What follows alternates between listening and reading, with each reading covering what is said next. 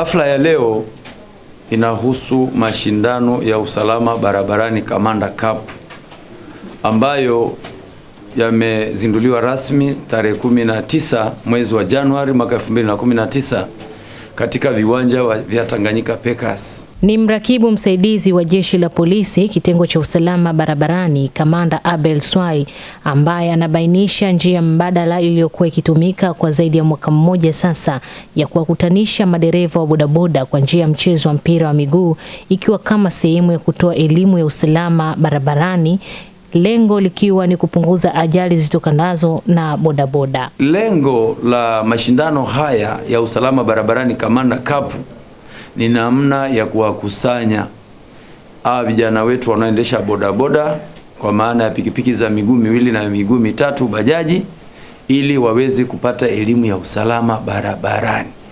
Najua kwamba ni vigumu hawa vijana kuwakusanya kwa pamoja, lakini kwa kupitia dhana hii ya michezo ya mpira wa miguu ndio nafasi yetu tunawapata.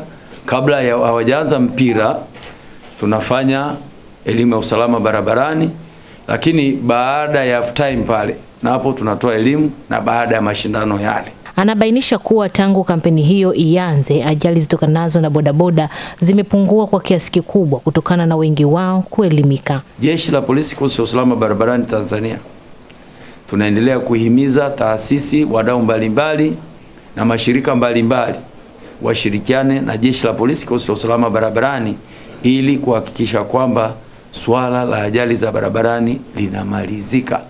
Tunasema Tanzania bila ajali ni lazima. Kwanza TV imezungumza na baadhi ya madereva wa bodaboda, lakini wengi wameonekana kulalamikia jeshi la polisi kitengo cha usalama barabarani licha ya mpango wao wa kuwakutanisha bodaboda hao kuonekana kuzaa matunda.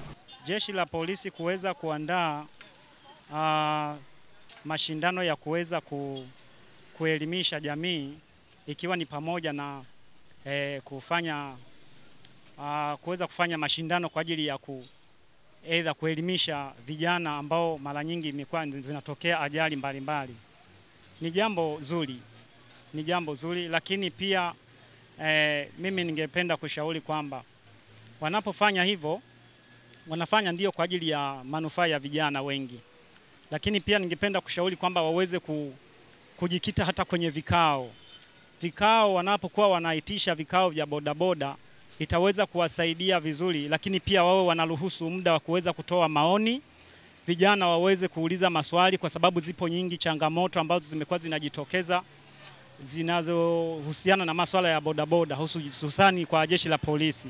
Kwa utaratibu waliotumia serikali kulifanya hilo sio baya, ni zuri, lakini wenzangu, watu wa pikipiki, sisi wenyewe ndo tuna makosa na makosa yetu asilimia kubwa kuogopa kukamatwa kwenye mataa ndio sababu kubwa inayosababisha mpaka sisi tunakufa. Maana mtu unakuwa hujakamilika, una leseni, chombo hakiko tayari, akiko vizuri kwenye mataa pale, unakuwa mtu una mashaka. Sasa yale mashaka yanakusababishia wewe kwamba unajua kabisa yoyote raia yoyote anayekufuata wewe ni askari, kwa sababu anakuwa havai uniform. Sasa unakuwa na fikra ya kujua kwamba huyu atanikamata, unakurupuka kokote kule unakwenda ndio asilimia nyingi ajali zinapatikana kwa system hiyo. Kutoka Dar es Salaam, Asia Gamba, Kwanza TV.